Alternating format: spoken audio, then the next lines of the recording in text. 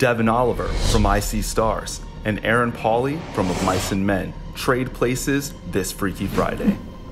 Brought to you by Joey Sturgis Tones and our sponsors, Slate Digital.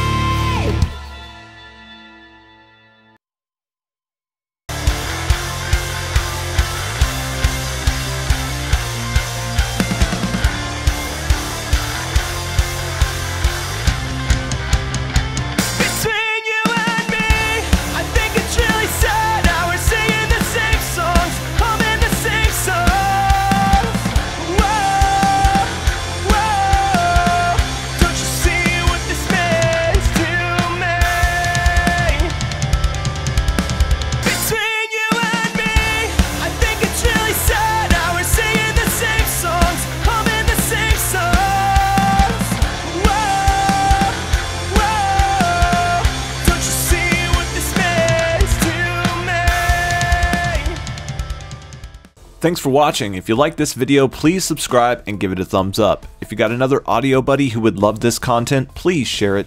Hit the bell to get notified when we upload new videos, and don't forget to check the link in the description below before you go. You're the best. We'll see you soon.